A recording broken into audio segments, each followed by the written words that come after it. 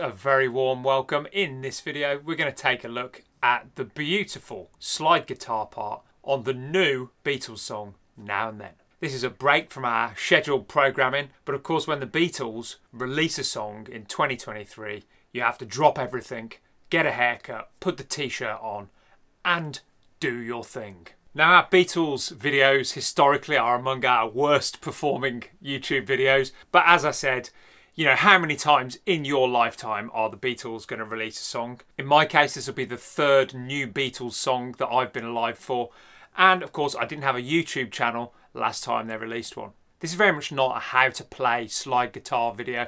I would not claim to be a slide guitar player by any stretch of the imagination, but I can make the noises that would make it appear that I can play slide guitar. But I'm hoping I can give you a couple of tips, maybe if you're new to it, that'll help you sound a little more proficient. If you know what you're doing already, then just sit back and enjoy the beautiful slide guitar work done on this song by Paul McCartney. So from me now, just a couple of tips for you before we actually start looking at the solo on slide guitar basics. And I'm talking about melodic single note slide guitar.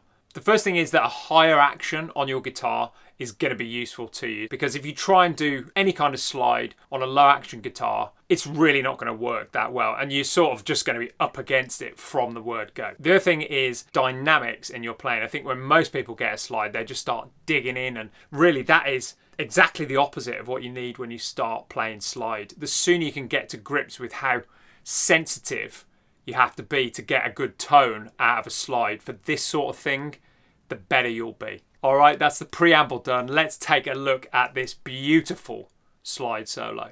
The first thing to say is that this tutorial covers the middle eight, so the middle section, I think it's after the second chorus, and we'll put the timestamps on the screen, and then the end of the song, the outro, and that's where the two bits of slide are, and I've just rammed them together for this tutorial and for the little performance that comes up at the end. So, with slide guitar, we're not going to learn how to play slide in this video, but a couple of things that made a huge difference to me is, first of all, where you're wearing your slide. Uh, for me, I, I do ring finger, uh, left hand, or some people do little finger. You could hold the thing for this kind of uh, solo, but really, you know, the earlier you can get to grips with it on one of those two fingers. Some people have the little slides. Uh, they work fine. I prefer the full finger because there's more to aim at. And the other thing is that I prefer the metal ones. You can get the glass ones as well. Hold up there. You can get the glass ones. I find the metal to be a little more forgiving in the sense that you get less outs. You get less string buzz, all the rest of that. So it just sounds a little more consistent with this guy. Get rid of that. The other thing that I wanted to say is that holding the slide at a slight angle, like so. Basically, you don't want this kind of thing happening.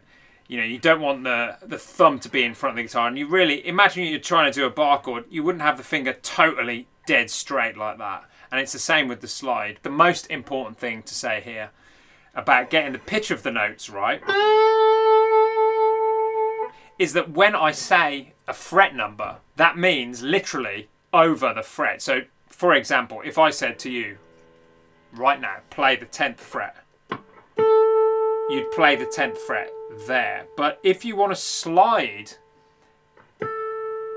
at the 10th fret and you want that note to sound like that, what you've got to do is go actually pretty well over the fret wire. I'll show you what I mean. So keep this note in your mind.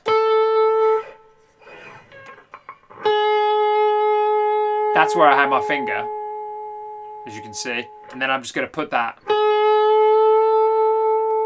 over the fret wire, you can hear that's now in tune. So that is the bit that most people get wrong. That's the amateur hour mistake with slide is that people try and put it like this in the middle of the fret. And of course, everything, unless you tune the strings up, which you don't want to do, everything's out of tune. Onwards, the song starts on the 10th fret of the B string. Remember, literally the 10th fret. 1, 2, 3, 4, 5, 6, 7, 8, 9, 10. This guy and we're going to slide into the 10th fret.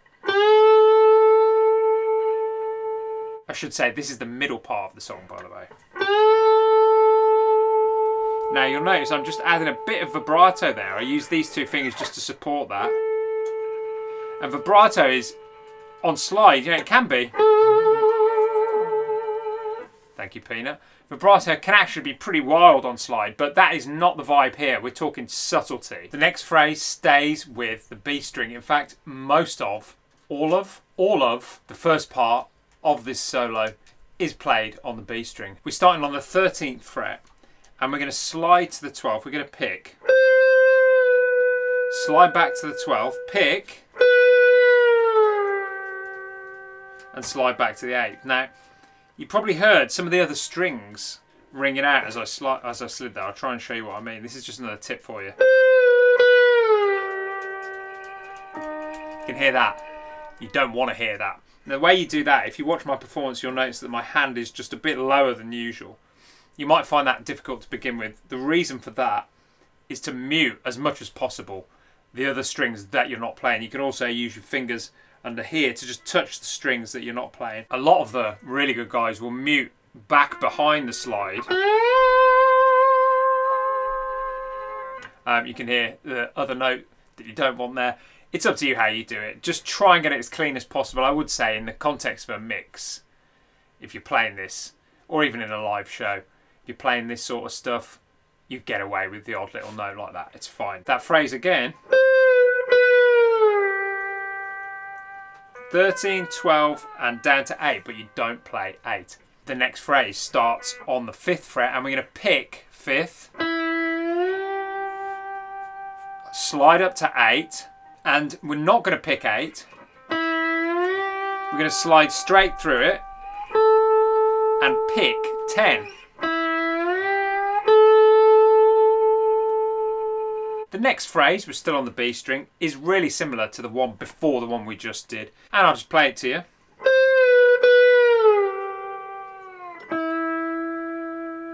So you can see there, I'm sliding 13 to 12, get it in tune, down to 8, slide to 5, and pick 5 as you land on it. So that again, right, you've got to pick that last note. That's tricky because you've got to make sure you're over the right note as you get to it. Let me show you what I mean.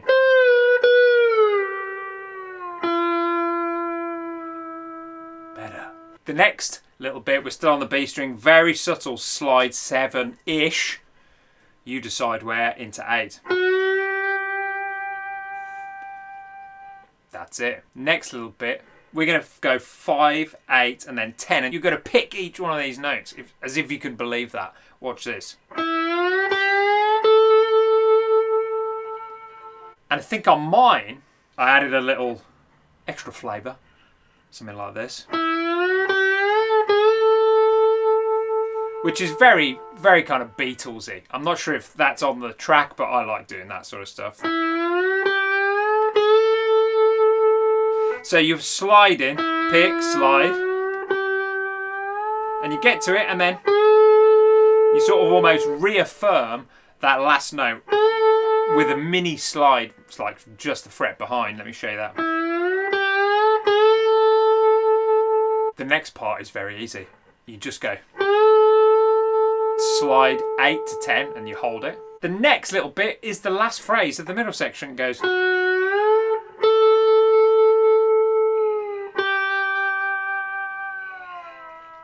And that is the end of it. And then we're into the last verse. I'll just show you what that last phrase is. We go 7 to 10 on the B string. Pick 10. Again, if you wanted to go, just sort of replay that note with a bit of a slide into it.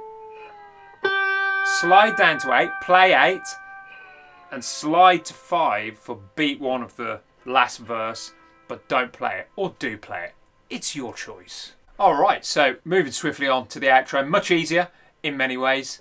It's basically one phrase, but perhaps the fiddliest bit of the whole piece.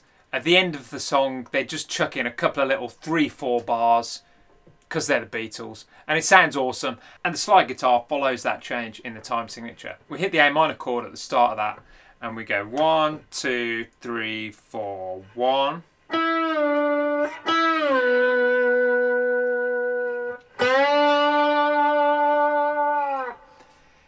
And that is the phrase, really. It does that again. So you're doing that twice. I'll show you exactly what it is. You want to be on 9 on the G string this time. We go to 7. Then back to 9 and you're going to go down to 4. So watch this. So beautiful that. Love that bit. And then this bit is just, it gets me every time. Up to that D on the 7th fret. So I'll play the whole thing of those two phrases together. One, two, three, four, one.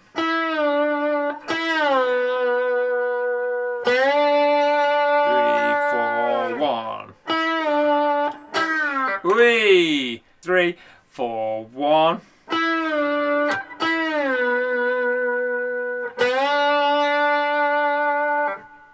And then we get to the cheeky bit.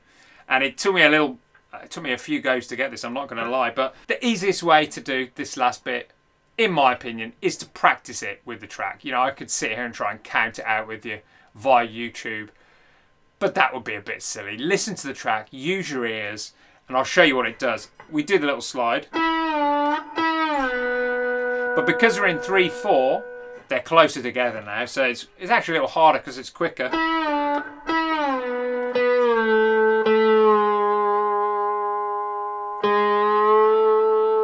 And then you've got that little tag on the end to finish it. It follows the strings, the beautiful string arrangement on this track.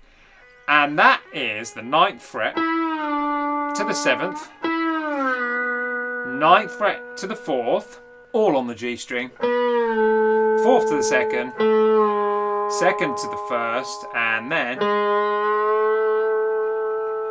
back up to the second for the very last chord of the song. I've got a backing track for this song, just an acoustic backing track, which I think is a fantastic way to practice this sort of thing. You can really concentrate on the sound of your playing. So if you want the backing track, obviously let me know in the comments. So there you go, that was the slide solo from Now and Then. I really hope you enjoyed that and I hope you had as much fun as I did when I learned it. I say fun, I actually found it quite stressful to get it right. But we won't go into that right now. Please subscribe if you haven't already. Consider giving the video a thumbs up because it does help us and we are back for good now, in the words of Gary Barlow. So stick with us. More next Friday. We'll see you then.